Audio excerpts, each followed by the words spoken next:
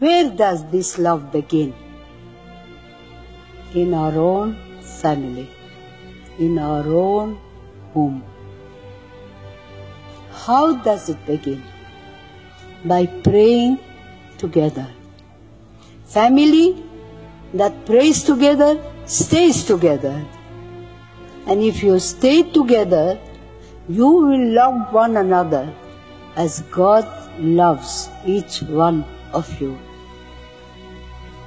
Today, the world, in the world, there's so much suffering because of that one of prayer, of unity in the family.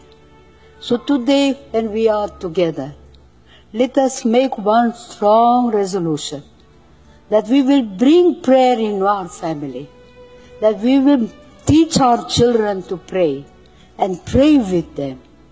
And you will see the joy and the love and the peace that will come into your hearts.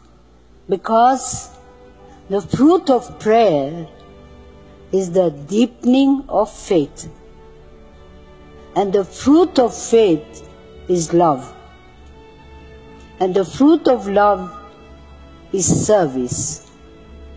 And the fruit of service is peace. Works of love